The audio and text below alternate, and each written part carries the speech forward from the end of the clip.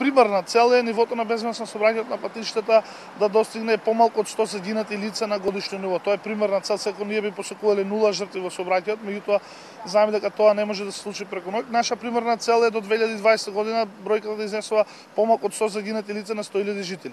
Законот во таа смисла можам да кажам дека а, сам по себе значи законот е добар, носи позитивни решенија, меѓутоа прашањето на безбедноста на собранието не е само прашање на законот, прашање и на културата, прашање на свеста, прашање на граѓаните колку го почитуваат законот.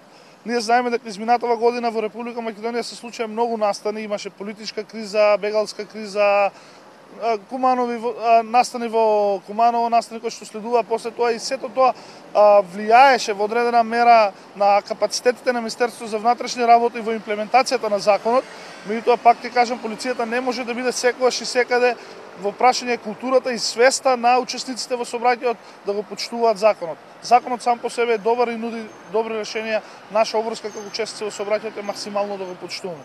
Тоа е во едниот дел, во другиот дел би сакал да истакнам дека одредени решенија во законот имат до ефектите потребно е повеќе време да се почувствуваат ефектите.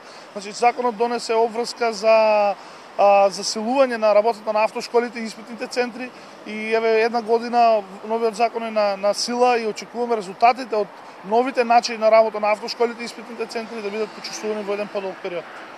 Што вели искуството, бидејќи велите имаме нови генерации на возачи на учесници во сообраќајот? А, во однос на тие што се ете со повеќе искуство, дали може би младите сме по совесни во однос на тоа кога станува збор за свесноста или сепак мораме да учиме и можеме да учиме од постарите?